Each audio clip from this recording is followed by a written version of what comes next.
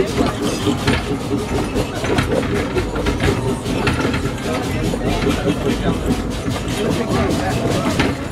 ground shook for 15 seconds. We can't replicate the full force of the quake, its upward and downward motions, but this simulation gives you a sense of what people experienced. 63 people were killed, nearly 4,000 injured, and thousands more left homeless. But the city's most famous earthquake packed a much bigger punch.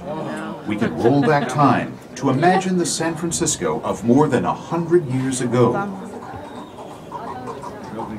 April 18, 1906, 5.12 in the morning. The city awakens and comes to life. The busiest port city in America has grown up rapidly, with hastily built areas and poor infrastructure. Can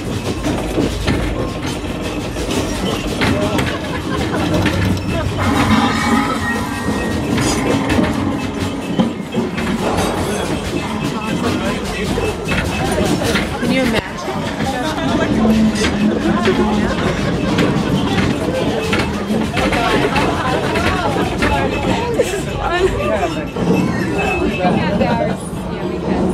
The entire event lasted more than 90 seconds, three times longer than you're experiencing here.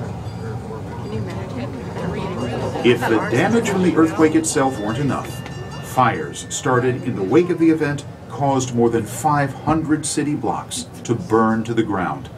More than 3,000 people died in the 1906 earthquake and fire. We don't know when the next earthquake will take place, but we can all make choices to help ensure our safety during such an event. Look around you.